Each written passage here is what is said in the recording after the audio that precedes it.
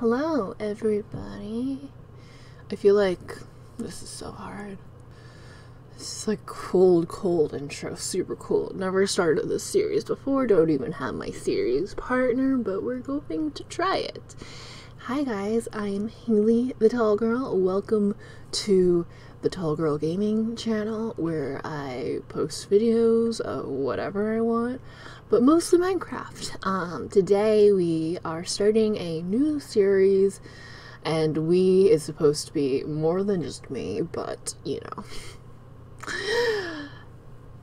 Young adults, am I right? Um, no, but my idea is that if I make this pre video before the actual video series starts with the person that I'm going to do this series with, it will help motivate them to get on the computer at night and actually play Minecraft. Because, yeah, basically, I'm just going to be teaching one of my friends how to play Minecraft and using Bedrock Edition. So, if you've noticed, my screen is not the Java login menu, it is Bedrock. So, this will be kind of a learning experience for me too but I am going to go ahead and go over some of the most basic things in Minecraft for my friends who are joining us in the sandbox game that is actually kind of really complicated. So, without further ado, I'm just gonna go ahead and get into it. Hope you guys enjoyed and Minecraft school. Minecraft summer school. It's serious, it's gonna happen.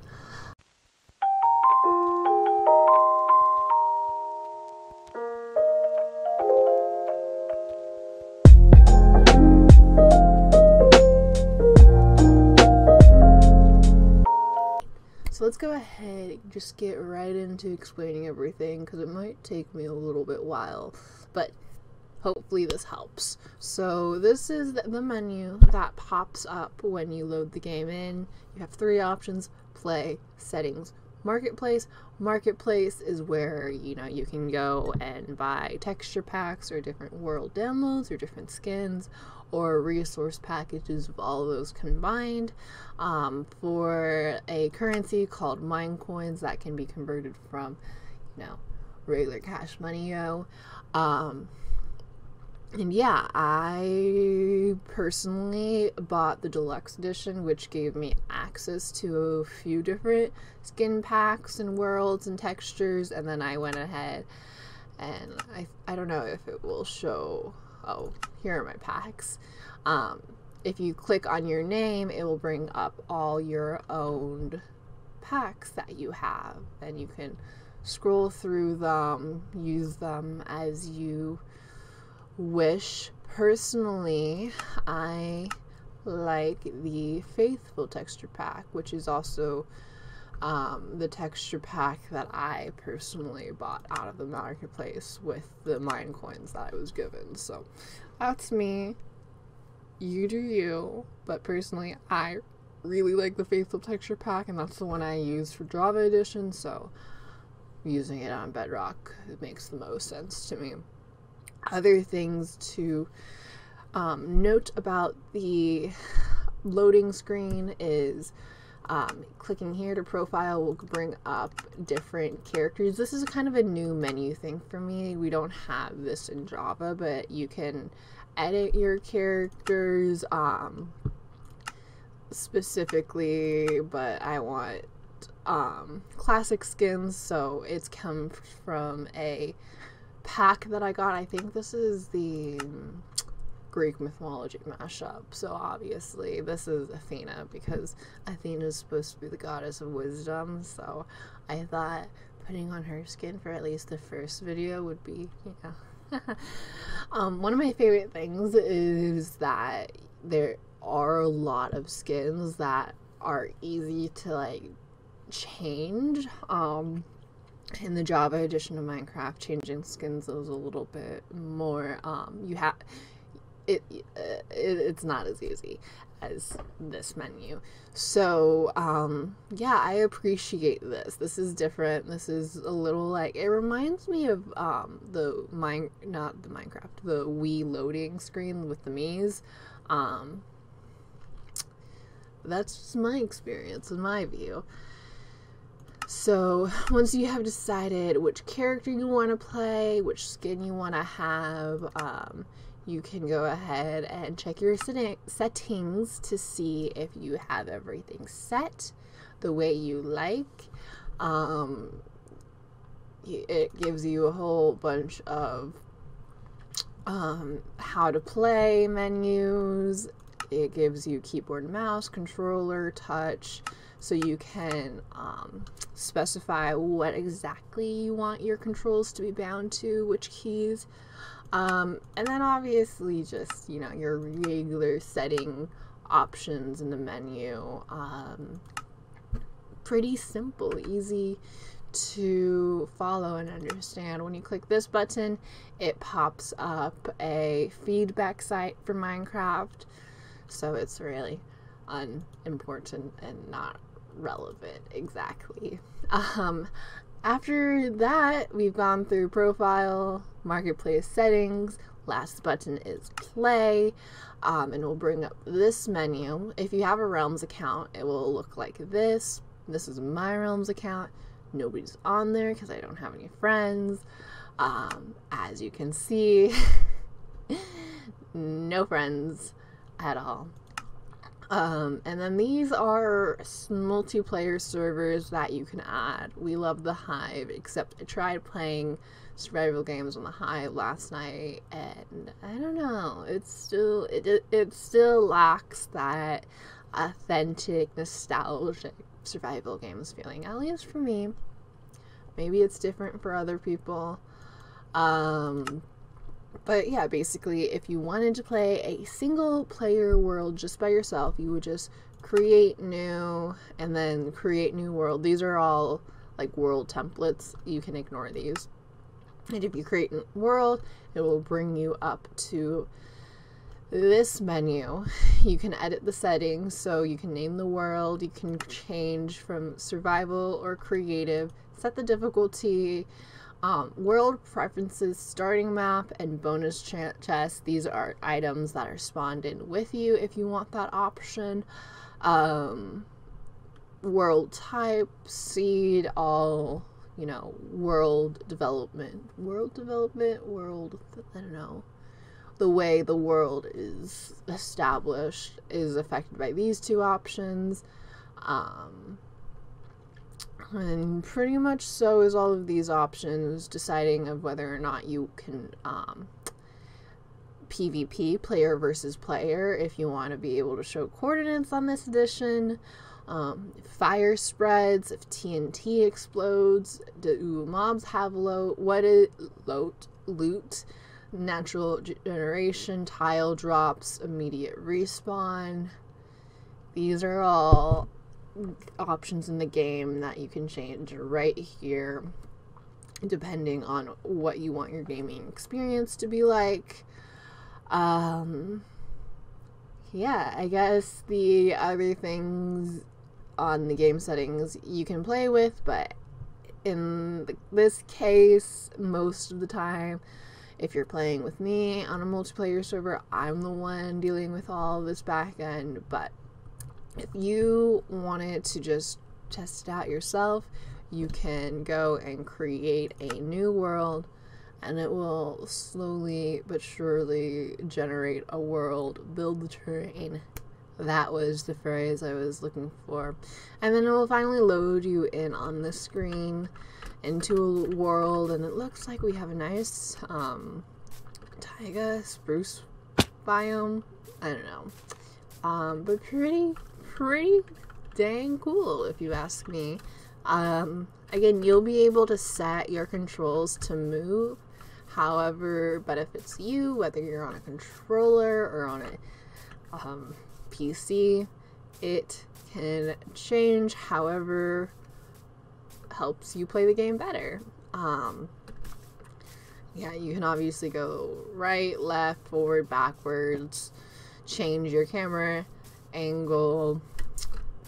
You can sprint, you can crouch, you can jump, all the basic mechanical movement types are available available to you in the game. You just have to figure out what the controls are for you, and yeah, just test out moving around, running around. Um, right click is break or destroy, at least if you're using a mouse, and left click is to interact with the block or open up the menu if it has a menu option to open up. Yeah, I think that is the majority of the first initial bomb. Here's a bunch of information. So let's take a breather.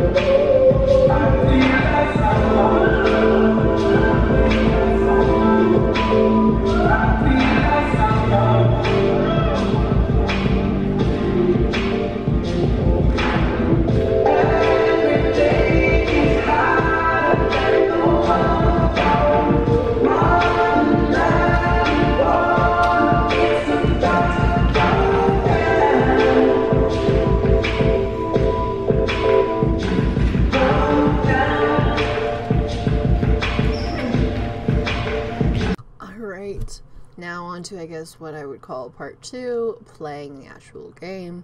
When you pause the game, you come up with this menu, but remember if you're playing in a uh, multiplayer server, the time is still going, so just be aware of that.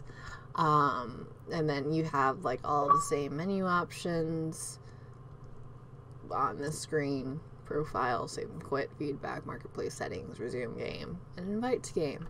Um, so you can pretty much access whatever you need from any menu in the game. Um, it's pretty nice. So the other basic I, things that you should probably figure out is how to open your inventory. For me personally, I press tab to bring up the inventory and if you're just bringing up your inventory you will have a crafting space right here and then inventory slots right here.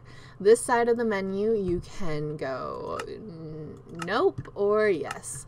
This will have um, craftable recipes pop up when you have craftable things. So if we break some blocks and test this out, we can get to the actual crafting part of Minecraft.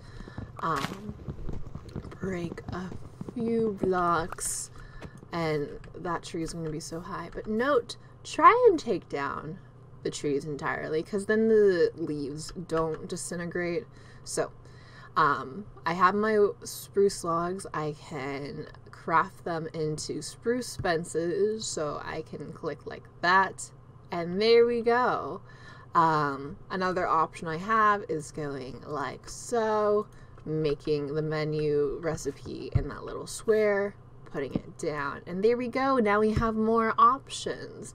Um, if you slide this thing over, the menu will pop up with absolutely everything in the game you can build. The red is the things that you need. It will show you the construction recipe if you want to go gather those recipes. But um, yeah, it's pretty cool. And if you are overwhelmed by all of these, you can always turn them off and it just comes up with, you know, recipes that have the blocks in your inventory in. So, because we just have spruce, we just have recipes that involve spruce wood. It's pretty cool, in my opinion, and yeah, I just really feel the need to take down this entire tree because it will really, really bother me if I do not do this. So, um, yeah, the leaves don't um, despawn it unless you take down the entire tree. So just make note because the tree canopy can um, cause mobs to spawn, even though it is a see-through block. It does make the light level able for mobs spawning, which is you know, something we haven't really gotten to. Okay, this is probably good that I'm doing this video because I'm realizing there's kind of a bunch of things that are a little bit confusing to the game, so... So I hopped into a creative world to you a little bit more, and this is actually perfect because it comes with a village in the game. So this part will probably be like the mobs of the game that you should probably know about, at least uh, the most important ones. The villagers are going to be one of the most easily interactable. Right here, we have a few different mobs. We have the Iron Golem, which is you can make yourself like a snowman type of deal. I, I don't know. I rarely make Iron Golems personally. We have the villagers that you can trade with. If you left click them, they bring up different um, trades that you can interact with. And then we also have cats that spawn near villages um, as like, you know, pets. And you can, if you have raw fish, you can tame them and they'll follow you around. And cats are pretty OP in this game. They are, they scare away, away a hostile, two different hostile mobs creepers and phantoms, and we'll get to those in a little bit. Um, other basic mobs, chicken, very, very, um, been in the game for a very long time. We have sheep, pigs should be around here somewhere, and there's also cows. But since we are in creative, we can go to mob eggs. So, I have chicken, bees, cows, pigs, sheep, wolf, polar bear, ocelot. So it's like a cat, a cat, mushroom. So it's a cow with mushroom. We have dolphin, sea turtle, panda, fox, creeper. Let's actually go ahead spawn some of these so that you can see what hostile mobs look like. Wither skeleton, stray, slime, spider.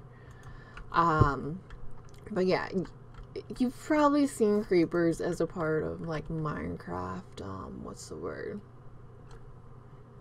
Uh, consumerism, capitalism. I, the the toys. Um, but yeah, the creepers, if you get too close to them in survival, they blow up. Not fun. Sometimes they get supercharged and they have this like little electric blue outline around them, like an aura, and then their explosion is that much more deadlier. We have Endermen who can teleport. You don't want to look them straight in the eye because then they'll attack you and get mad. Since that guy's, since I'm in creative, he's not going to attack me, but yeah, it is, he teleports all around, creepy, creepy, creepy sound effects. Um, and yeah, he's pretty cool. He drops ender pearls, which you can, let's see, ender, ender pearl, you can throw and it'll teleport you. It's pretty cool. Silverfish is something that affects you when you're mining down. Um, in mountain regions, these you break a stone block and these appear, and then slowly there's an infestation. It's cool. Skeletons are also something that spawns mostly at night or in dark areas. They come with bows, arrows, and they drop bones when they die. And they die in the sunlight too, so that's cool. Um, wither skeleton is found in the wither. Um, it's a skeleton, but withered. um, and when I meant they're found in the wither, they're found in the nether, I meant to say. I think they're slightly taller than yeah, they're they're bigger than the skeleton. Um, and they give you the wither wither effect when they um, hit you. So be careful. The stray is a variation of the skeleton that is often found in the oh, desert. And I find another village all the way over here. Wow, this was this is a good seed, if I do say so myself.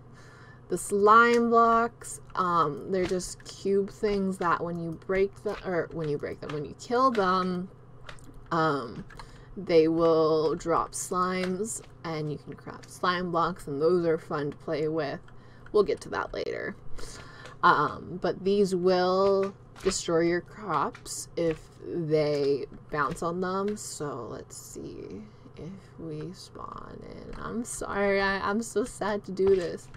No, you're going the wrong way. Go there. See, okay, what if you go... They are not doing the thing that they usually do. There we go. They destroy the crops, and it's real sad. Spider, obvious, very simple spider. Um, not that much importance. Zombies. Zombified piglin. Ooh, husk. Drowned. These are all cave spider witch. That would be cool to show off. Elder Guardian, we can do that too. Endermite is very much like the um, silverfish, but with ender pearls.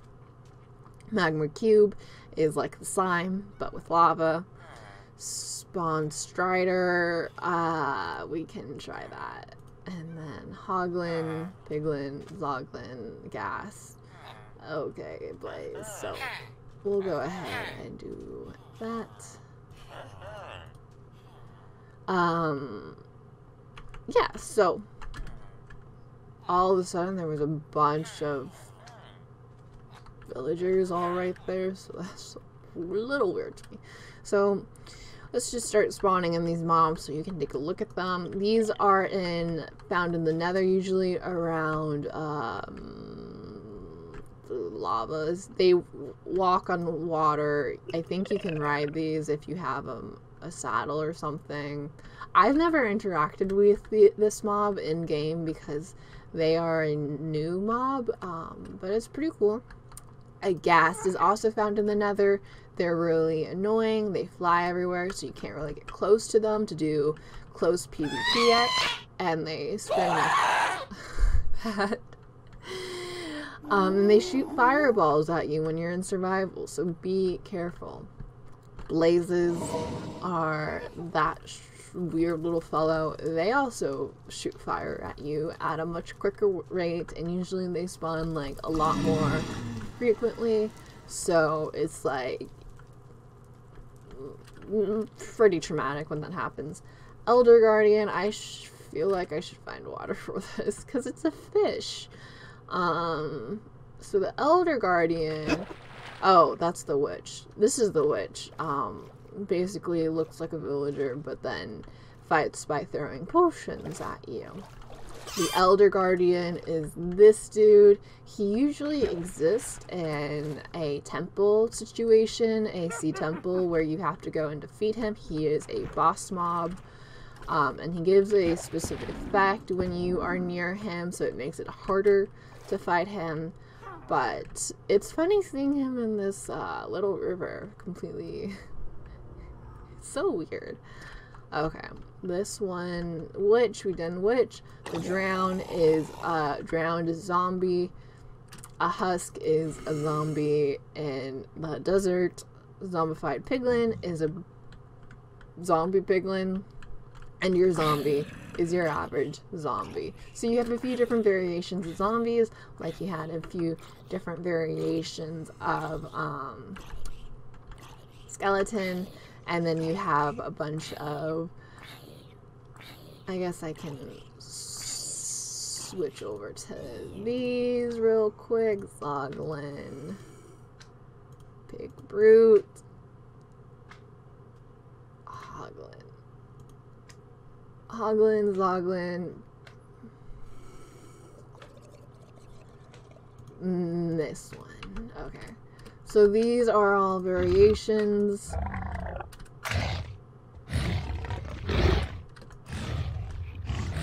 Wow. I didn't realize they had two different versions of this. Probably should have realized these are all mobs in the nether. You can also trade with this guy. Um, yeah, it's fun. These guys will charge at you just to kill you, um, so just be careful and be aware of that. And we have the sun going down. So the first day of school is that pretty much finished. Um, yeah, I don't know. We've gone over basic mechanics and menus of the game. We've gone over movements. Um, we've introduced most of the mobs um, to the video. Um, and in creative, this is kind of what the menu looks like. Yeah, so you can just do all of this. So it's pretty cool. Um, yeah. Thank you.